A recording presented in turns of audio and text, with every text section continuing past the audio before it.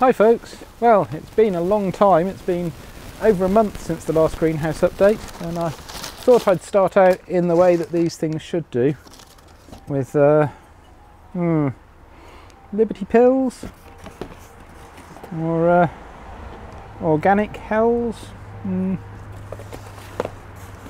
or let's try King Colne give that one a try I guess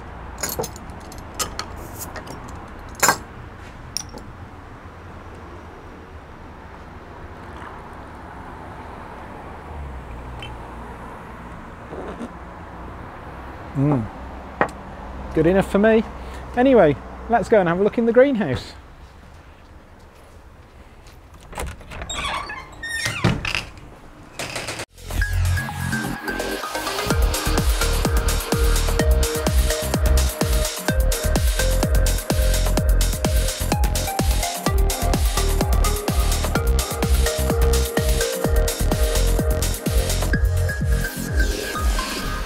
So, the story from the greenhouse in the last month is mostly one of uh, aphids and spider mites. And although I'd put uh, aphid predators in here and spider mite predators in here, and I'd stopped doing the pyrethrum to make sure I didn't kill my predators, they still didn't keep things under control. The aphids returned, the spider mites returned, and uh, I gave up last weekend and went back to using pyrethrum. Anyway, this is the sweet aperitif tomato, or one of them. And as you can see, it's doing absolutely beautiful with massive trusses of tomatoes. Um, so very happy with that. Let's just give you a full look at it. Oh, that is as zoomed out as we get. Uh, we're running about eight or nine feet tall up there now. So probably next weekend I'm going to lop the top off that and uh, keep that down to a reasonable height. And next door we've got the Costulovo Genoveso, which I don't think the last time I filmed a video had any fruit on it. But uh, we've certainly got some now. I, I, can't actually see the screen on this at the moment. There we are, we're definitely pointing at the right place.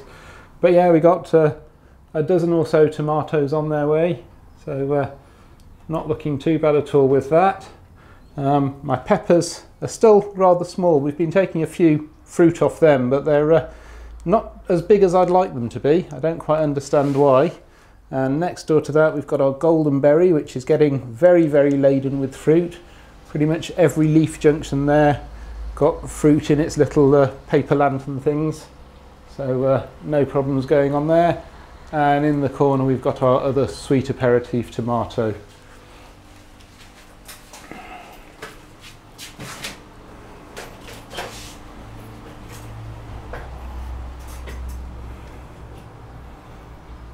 Now I do realise, let's go back in. Now I do realise that this tomato looks like it hasn't got anything ripe on it, but that's purely because we've been taking it off as soon as it gets ripe and eating it. So um, we have been harvesting that already. Strawberries have been suffering badly from spider mites, but uh, as I say, I started doing pyrethrum again last weekend, and uh, for example, this one here has got uh, some nice looking new growth on it that isn't getting all mangled, and we've got a another leaf coming through there looking okay. So so I'm giving up on the predators and I'm just going to stick to pyrethrum from now on. I've tried all sorts of organic natural things and washing up liquid and milk and olive oil and all sorts of things and uh, none of them have actually kept things under control the way that pyrethrum does. So I think I'm just going to stick to that for the rest of this season and uh, see if that can keep things under control. And on this golden berry you can see the spider mite damage and it's quite easy to spot on this because they uh, eat through the underside of the leaf. Uh, probably can't see it on here, but they eat through the underside of the leaf and they leave it slightly transparent, which is why it goes all white. It's a, it's a great canary plant this for pest control. Definitely seems to get hit much harder than the rest. Um, on the onions, the onions are gone and I'll show you where they've gone in a little while, but I, I harvested that bed and I've dropped in a broad bean that my son brought home from school that they'd uh, sprouted in some tissue paper so I thought might as well put something in the bed and the other bed of onions I mean they're all lying down now but uh, they're basically about the right size for harvesting now they're not really doing much else there they're just kind of lying around now so I should probably get something else on the grow in there might get some garlic on the go in there. Anyway, let's go and have a look in greenhouse number two.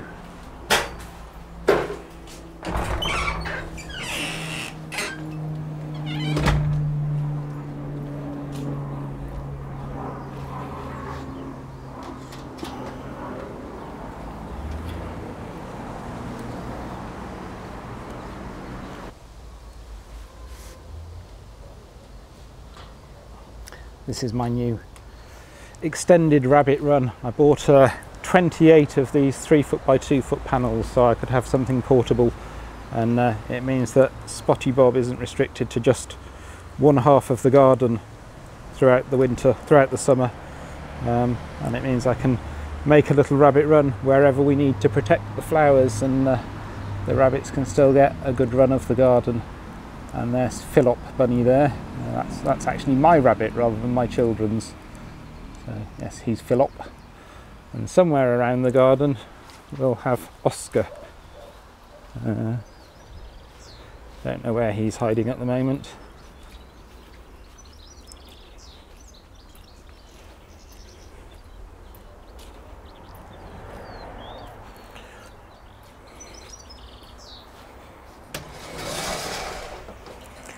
So, over in greenhouse number two, things are looking all right, and we don't have quite the same problem with pests. With pests, though, we do have a few snails or slugs. Um, definitely something that leaves a slime trail, so not caterpillars, but something that's been nibbling at a few different things. And uh, my other big problem is uh, this has happened every year, and I'm kind of inclined to give up on this drain pipe NFT rail system, both for the strawberries and for this, and change to a flood and drain or DWC style solution. Problem I have is at the moment the water level in there is very very high and that's happening because this broccoli plant here is blocking things up. And if we look down on this side water levels much lower again. And this happens throughout the rail. Wherever there's a big plant uh, we've got the pea there and the water level in front of the pea is very high. And uh, it doesn't take long before it gets slightly worse than that and the water just starts overflowing out and I have to do drastic root surgery on things. So um, I'll probably stop doing this drain pipe NFT after this season and go on to other things. So just a quick roundup, we've got a cauliflower here which is looking a lot better than it did a month ago. We've got one of the volunteer sweet aperitif tomatoes that I just found growing down in here, like this one here. Where are we there? Like that one there, just growing in between the pebbles um, as kind of a leftover from last year where a tomato had fallen on the floor and I'd failed to pick it up. This pea is doing fantastically, though we're growing mostly down rather than up, but we've been harvesting off this every couple of days for the last week. And uh, my son loves peas, which is very handy.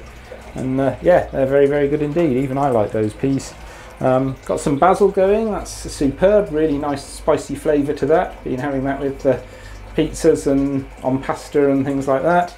Um, got a golden berry here that uh, I thought this was just a pot of clay balls, but um, it managed to seed itself and sprout itself, so I haven't pulled it up.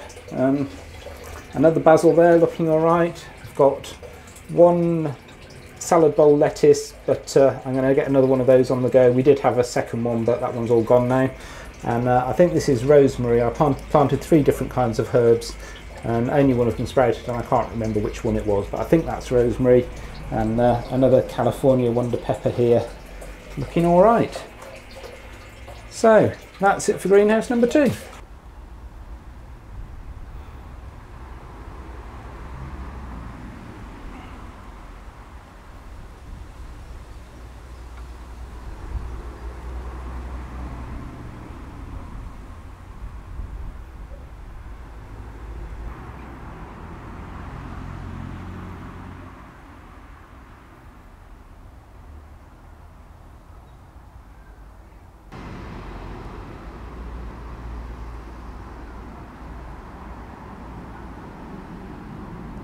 Now hopefully my new wireless mic setup with its uh, little furry wind filter on it mean it's actually possible to record out in the garden again. So uh, have a look at my asparagus there and got a butternut squash that my mum planted for me yesterday.